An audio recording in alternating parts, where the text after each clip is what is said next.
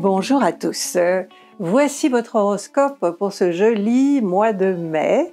Euh, vous pouvez appuyer sur le like, vous abonner.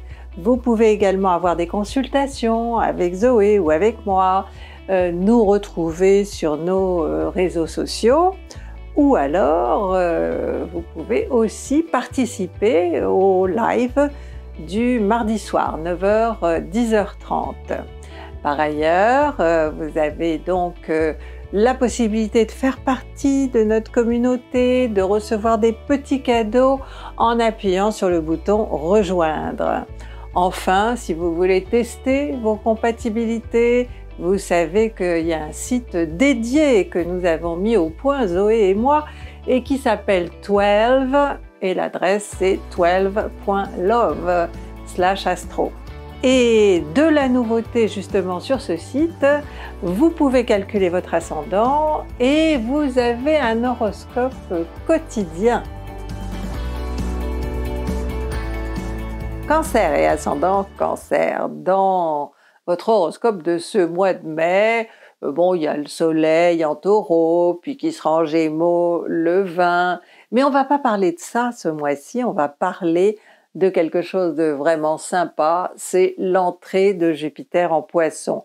Alors, certes, elle va pas impacter tout le monde, hein, elle va impacter que le premier décan. Euh, parce que bon, elle va rester au tout début euh, des, poissons, mais elle est forte en poisson, elle est exaltée, donc euh, effectivement, son rayon d'action peut être un petit peu plus large que quand elle est dans d'autres signes. Et puis, bon, le fait qu'elle soit en poisson, un signe d'eau comme le vôtre, est quand même de très bon augure, parce que, euh, voilà, il y a un développement, un déploiement. Euh, vous le savez, hein, Jupiter, euh, amplifie tout. Et là, euh, elle est dans un secteur de joie, un secteur d'ouverture, un secteur d'aventure. Euh, donc, il y a quelque chose qui va s'ouvrir, qui, va se qui, qui, va se déployer et qui va vous permettre à vous euh, de vous développer, hein, surtout si vous êtes né au tout début du signe. Là, c'est vraiment bon, à moins que dans votre thème natal, Jupiter euh, ne subisse euh, de très mauvais aspects. Dans ce cas, euh, bon, peut-être sont des problèmes juridiques qui vont vous tomber dessus ou administratifs. Mais bon, il suffit qu'elle ait un bon aspect en essence pour que ce bon aspect soit activé par cette présence en poisson. Mercure, donc qui gère votre travail, votre vie quotidienne, tout ce que vous avez, toutes les petites obligations hein, que vous avez au quotidien, elle se trouve en 12, en Gémeaux, et elle va y rester un petit moment, euh, étant donné qu'elle va rétrograder en fin de mois. Donc vous pouvez être sûr de la voir encore tout le mois de juin hein, en Gémeaux. Elle est dans votre secteur 12, ce qui peut un petit peu gêner euh, vos relations, vos contacts avec vos proches ou avec la clientèle aussi. Hein.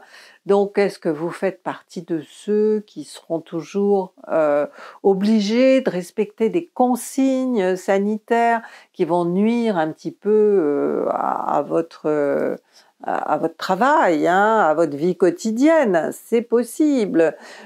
surtout que bon, Mercure ne sera pas ne va pas être en dissonance avec Jupiter, hein, donc euh, ça n'aura pas d'impact sur ceux euh, du premier décan qui sont dans la joie. non, deuxième décan, troisième décan, surtout elle va rétrograder dans le troisième décan des Gémeaux. alors ça peut être aussi Mercure étant à la fois la planète des Gémeaux et de la Vierge, ça peut être aussi un petit souci de santé mais pas pour, pas forcément pour vous. Hein, euh, c'est un, souci avec la, la question sanitaire qu'on traverse, ou alors euh, le Mercure représentant vos proches, vous ferez euh, du souci pour la santé de quelqu'un de proche, peut-être un parent, un enfant. Hein. Vénus maintenant, et Vénus donc va se trouver elle aussi euh, en gémeaux après un passage éclair dans le troisième décan du taureau, qui sera d'ailleurs très bon pour votre troisième décan, hein, très amical, jusqu'au 9. Et à partir du 9, eh bien Vénus euh, sera en Gémeaux et heureusement, euh, bon, elle sera quand même un petit peu en dissonance avec Jupiter. Hein, on peut pas, on peut pas la zapper, mais bon, ce sera très rapide. Hein, ça va durer 2-3 jours où vous aurez tendance un petit peu à vous laisser aller, à exagérer euh, hein, euh, vos besoins ou alors euh, vos sentiments de possessivité, de jalousie. bon, c'est pas tout ce qui peut vous traverser. sans que vous en soyez vraiment conscient, hein, puisque Vénus en 12, vous n'êtes pas toujours conscient des raisons hein, qui font que vous ressentez telle ou telle euh, chose. En tout cas, euh, il est également possible que vous viviez une relation qui doit demeurer secrète parce que votre entourage n'en veut pas ou parce que bon la personne n'est pas libre, hein, c'est possible. mais bon, ce n'est pas tellement dans votre nature hein, d'accepter ce genre de situation. Euh, donc, euh, je ne pense pas que ça durera euh, éternellement. En tout cas, ça peut durer le temps que Vénus va rester en, en, Gémeaux, mais elle quittera les Gémeaux pour votre signe en fin de mois.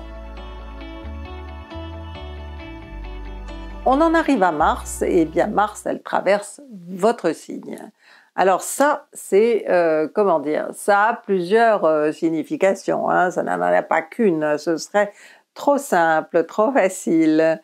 Euh, c'est pour ça que l'astrologie est compliquée, c'est que chaque planète est bien évidemment dans le registre du symbolique et qu'il faut trouver la bonne interprétation et pour ça il faut avoir votre thème. Donc ce que je vous dis c'est très général hein, évidemment. Bon, avec Mars dans votre signe, vous serez un peu trop impulsif. Hein, premier truc. Euh, vous agirez parfois sans avoir réfléchi auparavant, ce qui n'est pas tellement dans vos habitudes, mais peut-être vous serez poussé hein, par quelqu'un. Ou alors vous pouvez aussi être très irritable, très très nerveux, parce que vous serez euh, traversé par des émotions fortes. Hein. Mars va accentuer le côté euh, très émotionnel de votre signe. Donc, euh, il est très possible que vos énergies euh, hein, soient utilisées pour donner du volume, trop de présence à votre monde émotionnel. Mais bon, ça peut aussi être un moteur, vous savez, Mars. Donc peut-être que les émotions dont je parle vont vous servir de moteur, surtout si vous êtes dans quelque chose d'un peu artistique, de créatif, euh, où il faut avoir euh, justement de l'imagination euh, et, que cela traduise des émotions. donc bon, on ne sait pas. En général, bon, Mars n'est pas une très bonne planète. Hein. c'est vraiment un peu comme Saturne. C'est une planète qui, qui bon, c'est pas les ennuis avec elle, c'est les contrariétés. Hein. C'est-à-dire que euh, bah, vous avez affaire euh, à une situation où vous n'avez pas du tout le contrôle, par exemple. Je vous souhaite à tous un très bon mois de mai. Si vous voulez plus d'horoscopes, vous allez sur le site euh, rtl.fr ou alors vous appelez le 3210 ou encore vous pouvez aller sur le site du Figaro TV Magazine.